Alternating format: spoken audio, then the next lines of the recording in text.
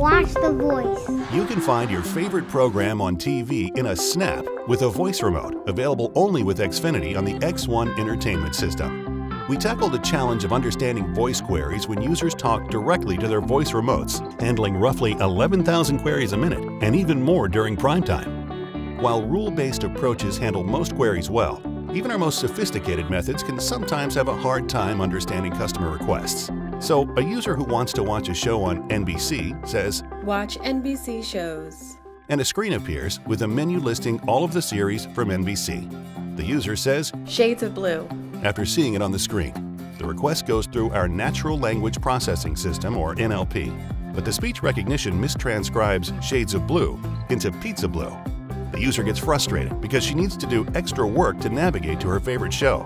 Now, our technology team has created an improved customer experience called the Navigational Hierarchical Recurrent Neural Network, or NHRNN. It uses a novel context-sensitive neural architecture optimized via multitask learning.